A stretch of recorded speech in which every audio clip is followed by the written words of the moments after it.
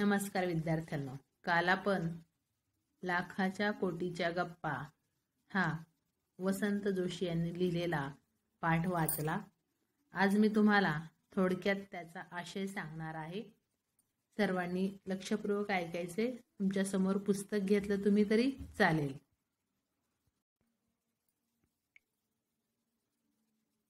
इगतपुरी स्टेशनवर इंजिनात बिघाड झाल्यामुळे गाडी तीन तास खोळंबली होती. नागपूर दादर एक्सप्रेस ही तीन तास थांबून राहिली. त्यामुळे प्रवासी खूप कंटाळले. पण त्यातले दोन प्रवासी मात्र आनंदाने गप्पा मारत बसले होते. परंतु तासाभराने ते सुद्धा कंटाळले. मग त्यांनी चहा मागवला. चहा घेतल्यावर पुन्हा त्यांच्या गप्पा रंगल्या. ते मुक्तपणे आणि मोठमोठ्यानं बोलत होते. त्यांच्या बोलण्याचे विषय असा होता की ते दोघे काका पुतण्या होते. जो तरुण प्रवासी होता तो पुतण्या होता आणि म्हातारा प्रवासी जो होता तो काका होते त्यांचे. काका खूप श्रीमंत होते.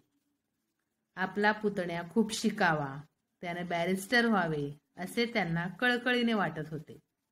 त्यासाठी वाटेल तेवढा पैसा खर्च करायला ते तयार होते.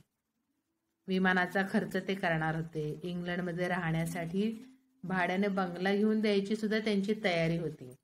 त्याशिवाय दरवर्षी पंधरा लाख रुपये याप्रमाणे तीन वर्षांसाठी पंचेचाळीस लाख रुपये ते देणार होते. इतकेच नव्हे तर त्यांच्या बॅगेत कोट्यवधी रुपये होते. त्यातील लागतील तेवढे पैसे ते पुतण्यासाठी खर्च करणार होते. पुतण्याची संपूर्ण युरोप पाहण्याची इच्छा पूर्ण करण्याची त्यांची तयारी होती.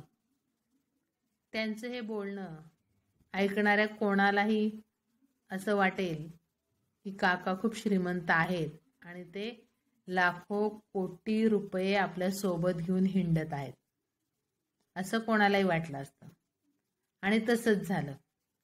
त्यांच्या या गप्पा ऐकून एका चोराने एका भामट्यानं काय केलं? त्यांच्या बॅगा पळवल्या. आणि बॅगा पळवल्याची घटना उघड झाल्यावर मग तो समोरचा प्रवासी आणि यांच्यामध्ये चर्चा होते. आणि चर्चेमधून मात्र एक वेगळंच सत्य आपल्याला समजतं. ते दोघे खरोखर काका पुतण्या नसून जे म्हातारे काका होते ते होते शरद तळवलकर आणि जे तरुण होते पुतण्या ते होते राजा गोसावी. हे दोन्ही मराठीतले प्रसिद्ध असे अभिनेते होते.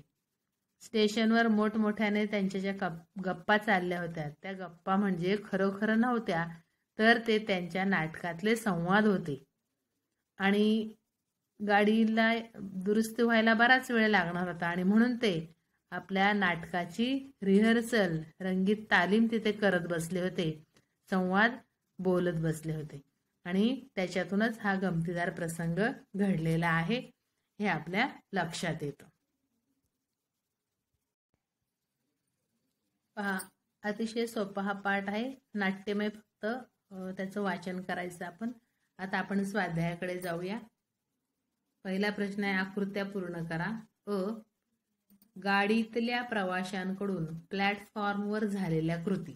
जेव्हा गाडी बंद पडली तेव्हा प्रवाशांनी काय काय केलं? काय काय कृती केल्या? तर पाठ वाचल्यानंतर आपल्या लक्षात येईल की काही प्रवासी कंटाळून प्लॅटफॉर्मवर एरझारा घालू लागले. नंतर काही दुसरा चौकटीमध्ये काय लिहिणार? काही जणांनी बुक स्टॉलवरून वर्तमानपत्र घेतले आणि ते वाचता वाचता जागेवर आडवे झाले. नंतर तिसऱ्या चौकटीत लिहायचं दोन प्रवासी दगडी बाकावर बसले आणि त्यांच्या गप्पा सुरू झाल्या. आणि पुढे ते दोन प्रवासी सुद्धा कंटाळे नंतर त्यांनी चहा मागवल्या आणि पुन्हा गप्पा मारायला सुरुवात केली. असं चार चौकटीमध्ये चार उत्तर लिहायचे. पुढचं आ आहे इंग्लंडला जाण्यासाठी राजाने केलेली तयारी. काय काय तयारी केली राजाने इंग्लंडला जायला? पहिलं म्हणजे पासपोर्ट मिळवला दुसरं म्हणजे व्हिसा काढला दुसरं चार सूट आणि इतर नेहमीचे कपडे बरोबर घेतले आणि काकांनी दिलेलं खास घड्याळ सुद्धा त्यानं वापरायला काढलं. असे चार चौकटीमध्ये चार तुम्ही उत्तर लिहायचे. प्रश्न दुसरा आहे योग्य विधान शोधा. चार विधान आहेत त्यातलं योग्य कोणतं आहे? पहिलं आहे लेखकाची नागपूर दादर पॅसेंजर गाडी होती. दुसरं म्हातारा व तरुण करोडपती होते. तीन तरुण वकिली करायला परदेशात जात होता. आणि चार दोन प्रवाशांमध्ये एक म्हातारा आणि दुसरा तरुण. तर कोणतं विधान बरोबर आहे यातलं? तुमच्या वाचल्यावर लक्षात आलं असेल. कोणतं बरोबर आहे? ते तुम्ही लिहायचे. दोन प्रवाशांमध्ये एक म्हातारा व एक तरुण होता दुसरा तरुण होता. हा आता ह्या चार पुढच्या चार मधली योग्य विधान. म्हातारा व तरुण दोघांच्या बॅगेत खूप पैसे होते. दोन म्हातारा व तरुण दोघेही कलाकार होते. तीन म्हातारा व तरुण एकमेकांचे नातेवाईक होते. आणि चार म्हातारा व तरुण बेजबाबदार होते. कोणतं योग्य विधान आहे? दोन नंबरचं. म्हातारा व तरुण दोघेही कलाकार होते. पुढचा प्रश्न खालील तक्ता पूर्ण करा. शब्द दिलाय नंतर त्यातला आपण मूळ शब्द आणि सामान्य रूप लिहायचे शब्द आहे पहिला भावाला. मग त्यातला मूळ शब्द काय? भाऊ. आणि सामान्य रूप. भाऊ या शब्दाला ला प्रत्यय लागलाय की नाही?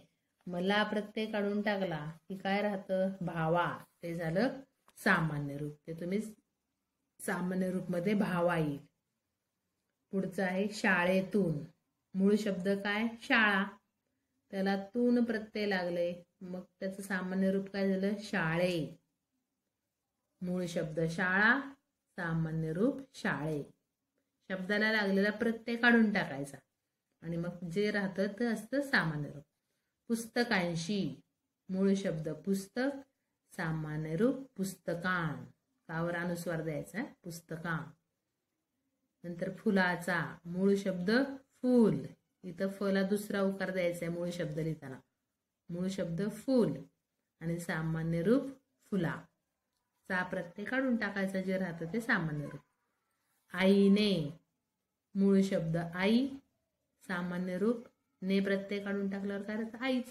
सामान्य रूप सुद्धा आई. नंतर ई आहे. खालील शब्दसमूहांचा वाक्यात उपयोग करा. गप्पा रंगणे. त्याचं वाक्य लिहायचं. तुमच्या मनाने जे काय तुम्हाला वाटेल ते लिहायचं. बऱ्याच दिवसांनी मित्र भेटल्यामुळे आमच्या गप्पा रंगल्या अशा प्रकारे. पंचायत होणे. पंचायत होणे म्हणजे काय करावं ते न सुचणे. लिहायचे वाक्य. तुमची केव्हा पंचायत होते वगैरे? पुढचाही प्रश्न आहे. खालील वाक्यातील अधोरेखित शब्दांचे वचन बदलून वाक्य पुन्हा लिहा. पहिलं वाक्य आहे त्यांचा खेळातील दम संपत आला. आता वचन एक वचन अनेक वचन. त्यांचा म्हटल्यावर एक वचन आहे का अनेक वचन आहे? अनेक वचन. मग त्यांचा ऐवजी एक वचनी शब्द काय होईल? त्याचा. त्याचा खेळातील दम संपत आला. दुसरं वाक्य आहे. कॅप्टनने खेळाडूला इशारा दिला. आता एका खेळाडूला इशारा दिला. एक वचन आहे. मग त्याचं आपण अनेक वचन करायचं. कॅप्टनने खेळाडूंना इशारा दिला. तिसरं वाक्य क्रीडांगणावर अंतिम सामना पाहण्यासाठी गर्दी जमली होती. आता सामना हे एक वचन आहे. त्याचं अनेक वचन काय होतं? सामने. मग वाक्य लिहिणार तुम्ही. क्रीडांगणावर अंतिम सामने पाहण्यासाठी गर्दी जमली होती. लिहिताना आधी दिलेलं वाक्य लिहायचंय. मग त्या शब्दाला अंडरलाईन आणि मग वचन बदलून परत वाक्य लिहायचं अशी दोन दोन वाक्य तुमची होणार आहेत. अशा प्रकारे हा पूर्ण स्वाध्याय तुम्ही सोडवायचा आहे आणि आज पूर्ण करायचा आणि मला फोटो पाठवायचा समजलं? धन्यवाद.